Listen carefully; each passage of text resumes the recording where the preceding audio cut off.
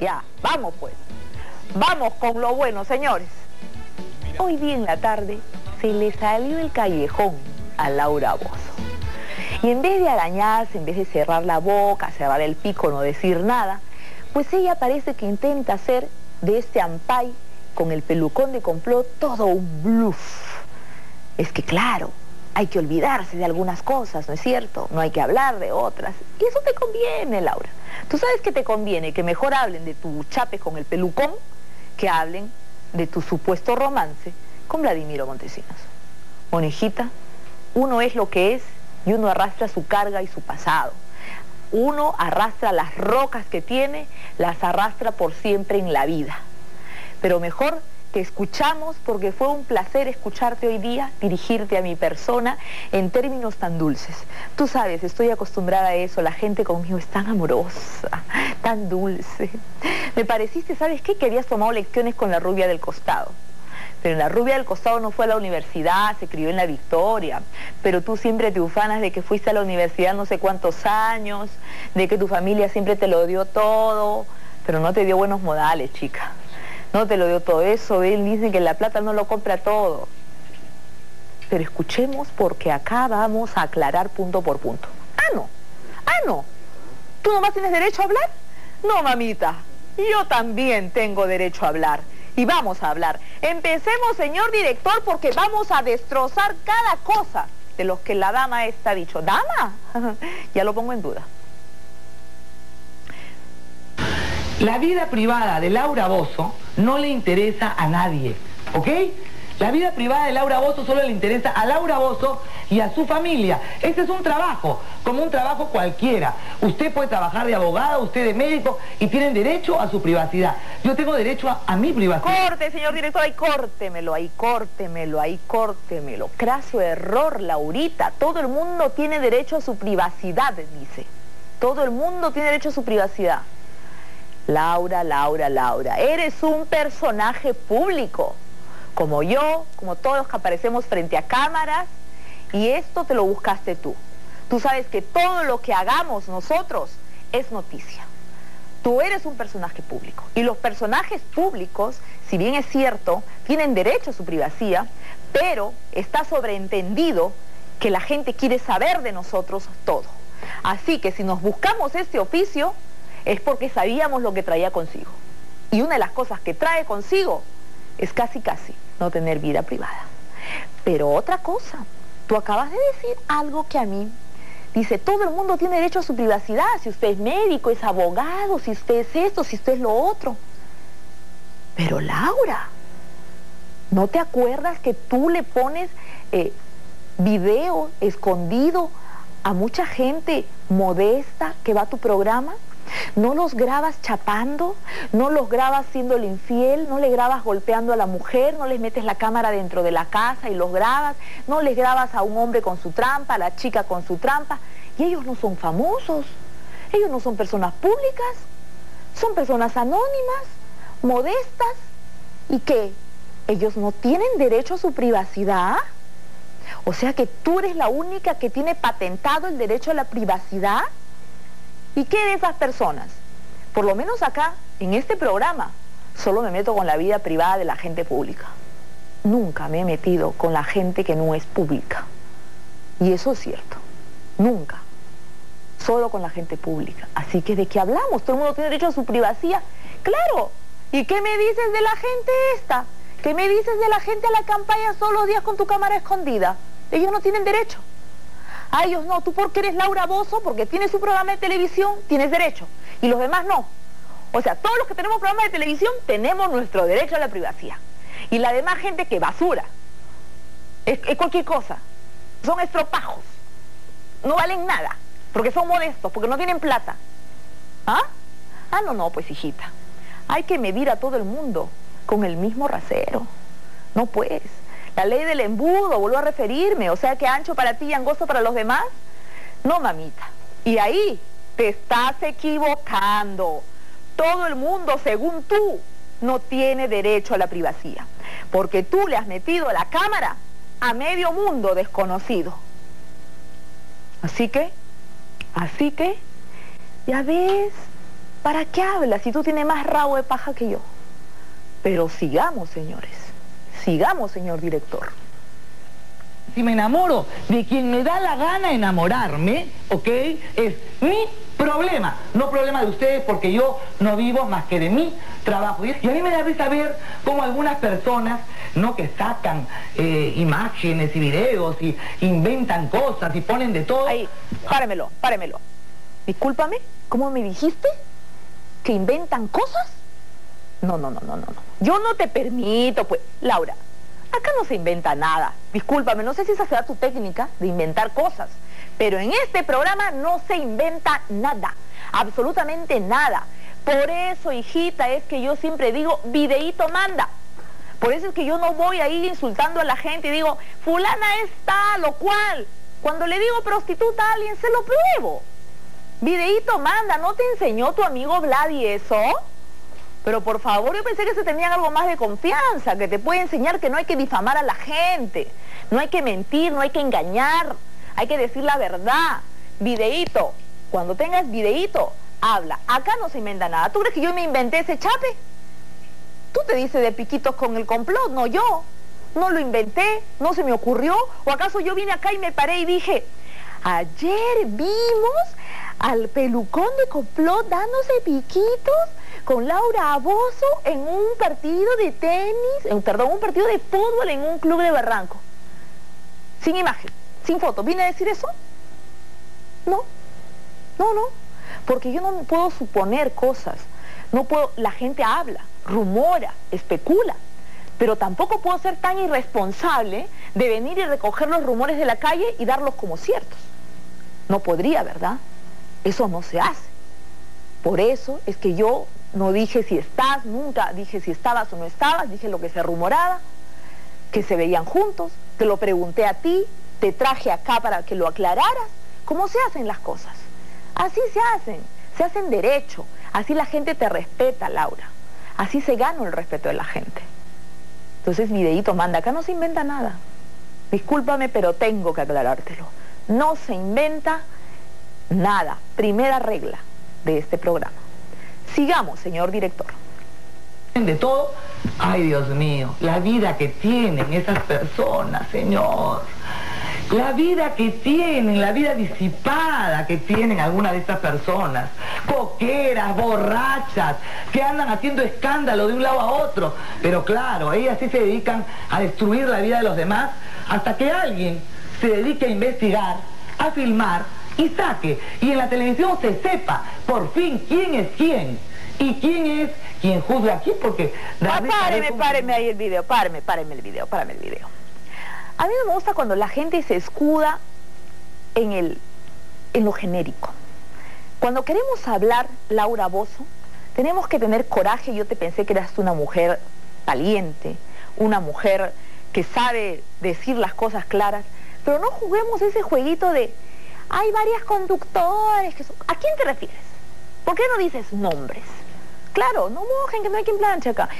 Nombres, mamita, nombres, di, acusa, acusa bien. Si quieres a alguien decirle algo, dilo con nombre, apellido. Así se habla, ¿no? Como hay algunas conductoras, mire, en la televisión habemos varias. ¿A quién te refieres? A Fiorella Rodríguez, a Gisela Valcárcel, a Yane Barbosa, a Magali Medina. ¿Quién más hay? ¿De quién más me acuerdo? Mónica Ceballos, no sé. ¿A quién te refieres? ¿Quién es la coquera, la borracha? ¿Quién lleva la vida disipada? Qué rica vida, de verdad, ¿no? Qué envidia. Dinos, dinos quién, dinos, con nombre. Te lo exijo, hazlo. No andes sembrando así. Ese es típico, pues, de la gente que no tiene... Me decepcionas, Laura, que no tiene tu educación, tus modales, tu nivel. Tú tienes que decir con nombres. No vengas así acusando, ay, que sí, que sí, que sí. Nada, hija. Además eso de que las personas que hablamos y que no sé cuánto, ¿qué cosa dijo? ¿Puede repetirme la última partecita, por favor? Porque como habla tanta estupidez, o sea, ya me olvido. La última partecita, señor director, y de ahí me la suelta para adelante, a ver, a ver qué más hay. ¿Y quién es quien juzga aquí? Porque da risa saber cómo algunas tiran la primera piedra, ¿no? Y tienen detrás de ellas unas rocas que realmente dan vergüenza. No se olviden que muchos de ustedes tienen un pasado y un presente realmente como para sacar no uno, sino cien mil ampais. Párelo ahí, señor director, párelo ahí. Por supuesto que todos tenemos un pasado y un presente. Todos. Yo, tú, todo el mundo tiene un pasado y un presente. ¿O no te acuerdas de tu pasado, Laurita? ¿O tú eres la única que no tiene pasado en esta televisión? Acuérdate nomás, imagínate, para irme un ejemplo así nomás sin pensar mucho, sin mojarme. No, yo no doy lecciones de nada, imagínate yo dar lecciones. Tú me puedes enseñar a mí, por ejemplo. Pero, ahorita nomás, hace un tiempo cuando trabajaba en Canal 11, ¿se acuerdan? Su pasado, cuando hablaba, despotricaba del gobierno de Fujimori, y luego cuando se muda al otro canal y cuando comienza a defenderlo. O sea, eso nomás ya es tu pasado. Eso nomás es tu pasado y es tu presente también. Entonces, acá nadie tira la primera piedra, es cierto, todos tenemos rocas. Ah, por supuesto, yo cargo las mías. ¿Cuándo he dicho que he sido santa? Yo nunca me he vendido como santa, felizmente, discúlpame. ¿ah? Yo no soy santa, no soy, ay, mis ceñitos, ay, mis mujeres maltratadas, ay, que yo las amo, que yo las quiero. No, yo jamás hago eso porque no me importa un pepino. Felizmente he vivido mi vida muy bien, como para no darme la de chibolera a esta edad, y no tengo nada de qué arrepentirme. Absolutamente nada, porque ¿sabes qué, Laura? El pasado, uno no puede renegar de su pasado. Eso es parte de nuestra historia personal, de la historia de cada ser humano, y eso nos hace más experimentados. Eso es lo que se llama vivencia, eso es lo que se llama vida. Seguimos, seguimos. ¿Vamos al corte o sigo con, Sí hay más, hay más, claro que hay más. Y sígale, señor director. Y no se metan conmigo que yo tengo una vida tranquila, porque acá nadie me puede decir que me ha visto a mí en un escándalo, acá nadie me puede decir que me ha visto a mí en una borrachera, jamás me he presentado en un set de televisión ebria, eso creo que nunca lo he hecho, ¿verdad? No se me ocurriría hacerlo, entonces, por favor, señor. Muy bien. No mire. O sea que nunca te ha presentado un set de televisión ebria. Yo sí, pues. Y hasta en eso soy pionera. Y vine y lo reconocí y lo dije. ¿No lo hiciste? Es tu problema. Yo sí lo hice. Sí lo hice. Y lo asumí. Soy la número uno en todo, papito. Cuando meto la pata también. La meto y re bien. Y vine, lo asumí. Y en eso se basa mi franqueza, mi honestidad. Yo no ando escondiendo mis trapos sucios. No, no, no. No ando escondiendo mis trapos sucios ni ando dándomelas de muy señora cuando realmente no. Así no es, así no es. Las personas todas somos imperfectas, Laura Bozo, todas, absolutamente todo. Y lo que estás tratando de hacer ahora, al contestarme, me parece, me parece que estás tratando de hacer olvidar el real problema. Y el real problema acá es que tú tienes una gran manchaza así por tu ligazón y tu besitos, besitos Vladi. Y ahora lo quieres borrar todo de un baldazo de agua no se puede, hija. Por más que chapes con complot, por más que me insultes a mí. Y dices que videíto manda. Eso es lo que yo digo en este programa.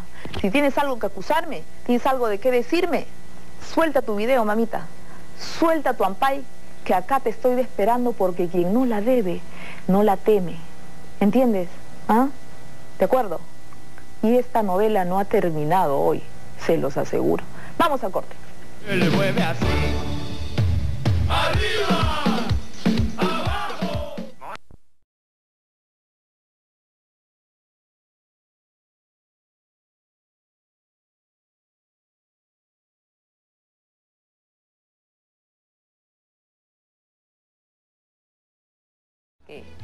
Ya, vamos pues. Vamos con lo bueno, señores. Hoy día en la tarde se le salió el callejón a Laura Bozo. Y en vez de arañarse, en vez de cerrar la boca, cerrar el pico, no decir nada, pues ella parece que intenta hacer de este ampay con el pelucón de complot todo un bluff. Es que claro, hay que olvidarse de algunas cosas, ¿no es cierto? No hay que hablar de otras. Y eso te conviene, Laura. Tú sabes que te conviene que mejor hablen de tu chape con el pelucón que hablen de tu supuesto romance con Vladimiro Montesinos. Monejita, uno es lo que es y uno arrastra su carga y su pasado. Uno arrastra las rocas que tiene, las arrastra por siempre en la vida. pero mejor solo le interesa a Laura Bozo y a su familia. Este es un trabajo, como un trabajo cualquiera. Usted puede trabajar de abogado, usted de médico y tienen derecho a su privacidad. Yo tengo derecho a, mi privacidad. Corte, señor director, ahí córtemelo, ahí córtemelo, ahí córtemelo. Craso error, Laurita. Todo el mundo tiene derecho a su privacidad, dice. Todo el mundo tiene derecho a su privacidad. Laura, Laura, Laura, eres un personaje público como yo, como todos los que aparecemos frente a cámaras, y esto te lo buscaste tú. Tú sabes que todo lo que hagamos nosotros es noticia. Tú eres un personaje público y los personajes públicos, si bien es cierto, tienen derecho a su privacidad, pero está sobreentendido que la gente quiere saber de nosotros todo. Así que si nos buscamos este oficio es porque sabíamos lo que traía consigo. Y una de las cosas que trae consigo es casi casi no tener vida privada. Pero otra cosa, tú acabas de decir algo que a mí dice, todo el mundo tiene derecho a su privacidad, si usted es médico, es abogado, si usted es esto, si usted es lo otro. Pero Laura, ¿no te acuerdas que tú le pones eh, video escondido a mucha gente modesta que va a tu programa? No los grabas chapando, no los grabas siendo el infiel, no le grabas golpeando a la mujer, no les metes la cámara dentro de la casa y los grabas, no les grabas a un hombre con su trampa, a la chica con su trampa. Y ellos no son famosos, ellos no son personas públicas, son personas anónimas, modestas. ¿Y qué? ¿Ellos no tienen derecho a su privacidad? O sea que tú eres la única que tiene patentado el derecho a la privacidad. ¿Y qué de esas personas? Por lo menos acá, en este programa, solo me meto con la vida privada de la gente pública. Nunca me he metido con la gente que no es pública. Y eso es cierto. Nunca. Solo con la gente pública. Así que ¿de qué hablamos? Todo el mundo tiene derecho a su privacidad. Claro. ¿Y qué me dices de la gente esta? ¿Qué me dices de la gente a la campaña todos días con tu cámara escondida? Ellos no tienen derecho. A ellos no, tú porque eres Laura Bozo, porque tienes un programa de televisión, tienes derecho. Y los demás no. O sea, todos los que tenemos programas de televisión tenemos nuestro derecho a la privacidad. Y la demás gente que basura. Es, cualquier cosa. Son estropajos. No valen nada. Porque son modestos, porque no tienen plata. ¿Ah? Ah, no, no, pues hijita. Hay que medir a todo el mundo con el mismo rasero. No pues. La ley del embudo, vuelvo a referirme, o sea que ancho para ti y angosto para los demás. No, mamita. Y ahí te estás equivocando. Todo el mundo, según tú, no tiene derecho a la privacidad. Porque tú le has metido la cámara a medio mundo desconocido. Así que, así que, ya ves, te escuchamos porque fue un placer escucharte hoy día, dirigirte a mi persona en términos tan dulces. Tú sabes, estoy acostumbrada a eso, la gente conmigo es tan amorosa, tan dulce. Me pareciste, ¿sabes qué? Que habías tomado lecciones con la rubia del costado. Pero la rubia del costado no fue a la universidad, se crió en la Victoria. Pero tú siempre te ufanas de que fuiste a la universidad no sé cuántos años, de que tu familia siempre te lo dio todo, pero no te dio buenos modales, chica. No te lo dio todo eso, él dice que la plata no lo compra todo. Pero escuchemos porque acá vamos a aclarar punto por punto. Ah, no. Ah, no. ¿Tú nomás tienes derecho a hablar? No, mamita. Yo también tengo derecho a hablar. Y vamos a hablar. Empecemos, señor director, porque vamos a destrozar cada cosa de los que la dama está dicho. ¿Dama? ya lo pongo en duda. La vida privada de Laura Bozo no le interesa a nadie, ¿ok? La vida privada de Laura Bozo